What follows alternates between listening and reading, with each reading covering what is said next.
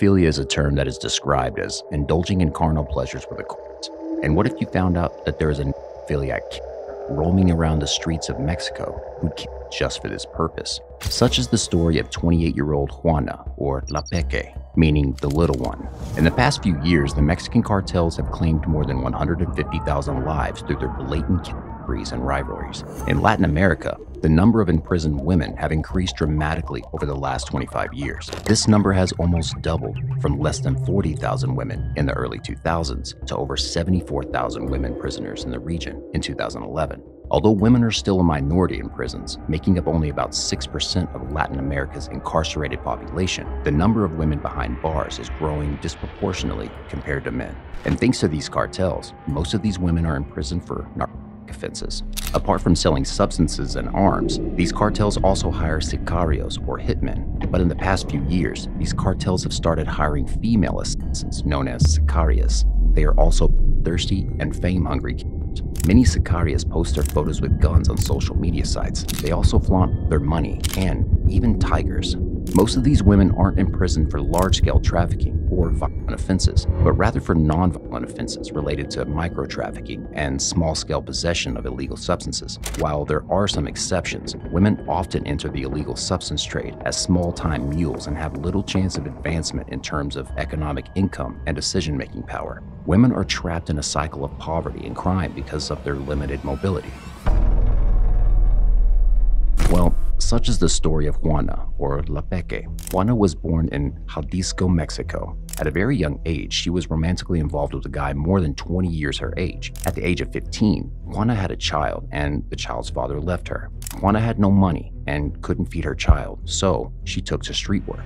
Gradually, she met one of the most technologically advanced Mexican cartels called Los Zetas.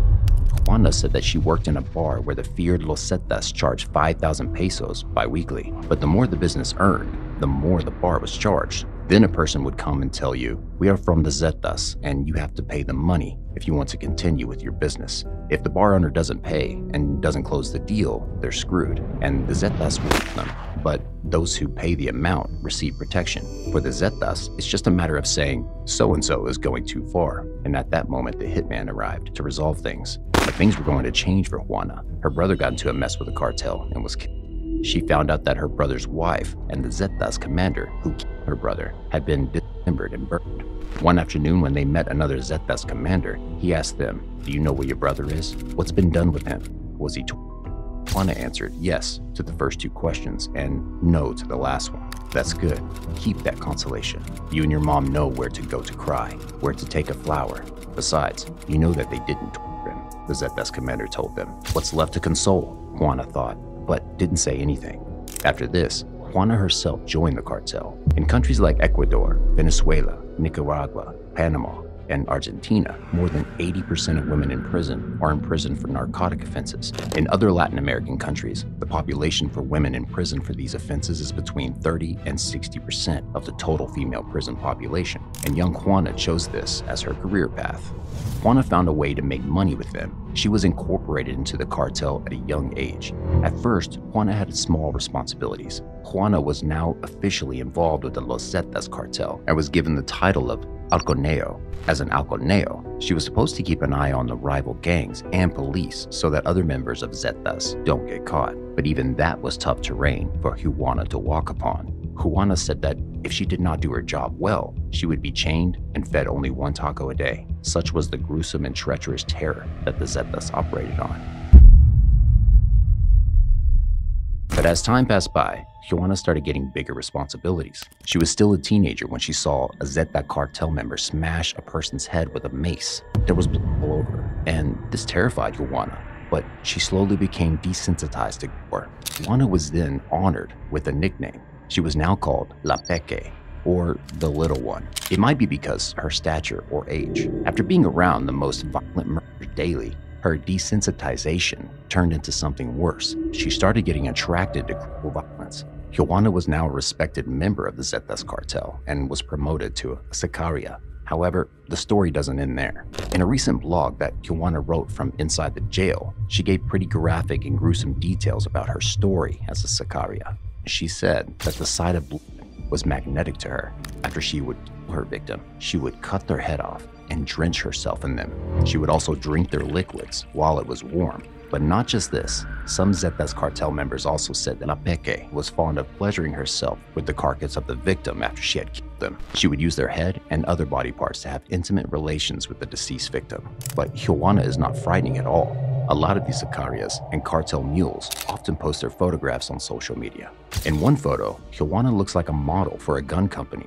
She has beautiful red hair, a charming body, and an innocent smile. The only dangerous thing about this photograph is that Juana is holding a machine gun in her hand. Apart from the gun, everything about Juana looks normal. From some of these photos, we can see she wants to be seen as a threat. After all, Juana confessed to killing five men, drinking their warm liquids, and deriving intimate pleasures from their carcasses. In 2016, she was caught after killing five men and sentenced to prison in California. In her blog, she gave grotesque and emotional details of her life. Ever since I was a little girl, I was a rebel, and then became a substance addict and an alcoholic.